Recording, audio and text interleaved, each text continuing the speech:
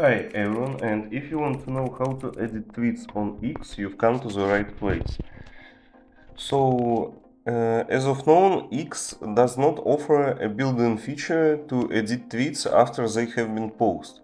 However, there are a few uh, workarounds you can use if, if you need to make change on the content you've tweeted.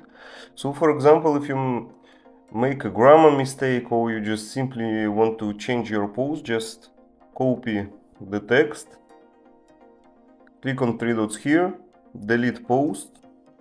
And create another one. If you don't want to delete your previous post, you want to save it, uh, just click on uh, wait a minute. Just click on retweet and uh, choose quote. And once you choose quote you can comment a tweet which you want to change. And once you've done that the post will be saved and you will be you will make reposts with uh, the quote. That's it. And